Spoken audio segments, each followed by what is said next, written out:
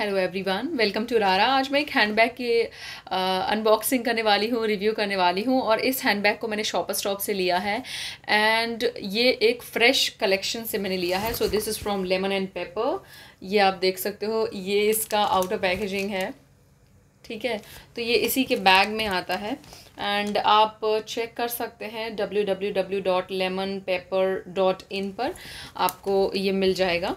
अगर आपको परचेज़ करना है तो चलिए अभी आपको मैं दिखाती हूँ कि ये हैंडबैग जो है वो किस कलर का है और कैसा लगता है। एंड इसका बिल जो है वो ये रहा। एक मिनट में आपको बता देती हूँ। सबसे पहले इसका प्राइस सो so, ये है थर्टी एट हंड्रेड रुपीज़ का। जी हाँ थर्टी सेवन नाइन नाइन का है। This is the handbag this is very beautiful beige and nude shade है ये। और ये आप दूर से देख सकते हैं। बहुत ही कॉम्पैक्ट सा है, लेकिन इतना भी छोटू नहीं है कि इसमें ज़रूरत की सारी चीज़ें ना आ सकें।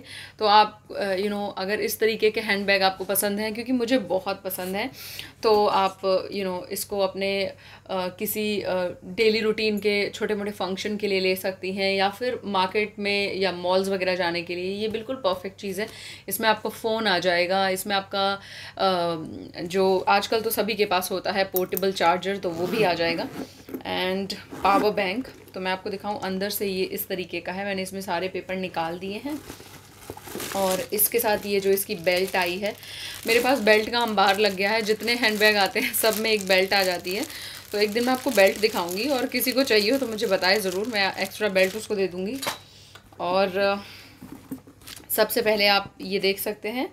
ये जो प्रोडक्ट है इसका आ, कलर है पीच स्टाइल है two zero one zero six nine.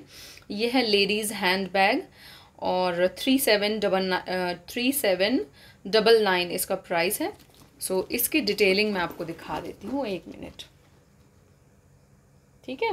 And ये आपको दिख रहा है मैट लेकिन इसमें हल्का सा शाइन है बहुत लाइट सा। तो जिसकी वजह से यू नो इसमें और ज़्यादा ये जब लाइट वाइट पड़ती है तो ये अच्छा लगता है बट ये दूर से दिखने में बहुत डिसेंट है।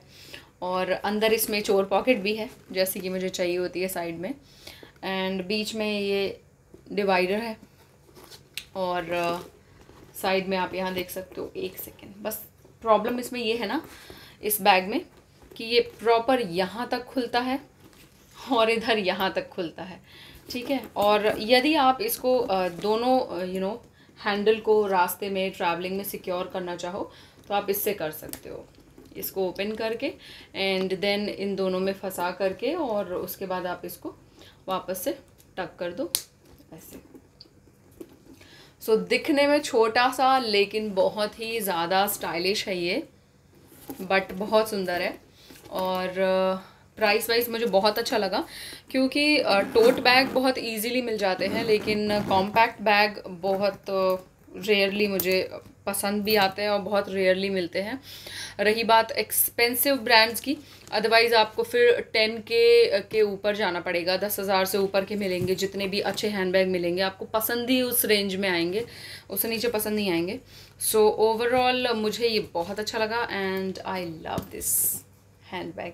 तो आप मुझे बताइएगा, आपको कैसा लगा? यदि आपको चाहिए तो आप इसे पेपर, लेमन एंड पेपर की साइड से ले सकते हैं या फिर आप शॉप स्टॉप से ले सकते हैं। जिस शॉप स्टॉप में लेमन एंड पेपर ब्रांड होगा, वहाँ से। तो उम्मीद करती हूँ कि आपको ये हैंड बैग अच्छा लगा होगा। इसके अलावा मैंने और भी हैंड बैग्स के रिव्यू किए हैं एंड उसके अलावा मेरे जो हैंड बैग्स हैं, जिनके रिव्यू मैंने नहीं किए हैं, जिनको मैंने नहीं आपको दिखाया है तो आप मुझे बताइएगा। और एक चीज़ बेस्ट है इसमें कि जब आप बेल्ट लगाओगे ना तो इसको स्लिंग बना सकते हो विच इज़ वेरी गुड यहाँ साइड में ये दिया हुआ है और ये बहुत छोटू सा है मतलब बहुत बड़ा नहीं दिया गया है इसको स्लिंग बैग बनाने के लिए। एंड इस तरफ़ इधर है। जिससे कि आप इसको अच्छे से यू नो कंफर्टेबल होकर के स्लिंग बना सकते हो।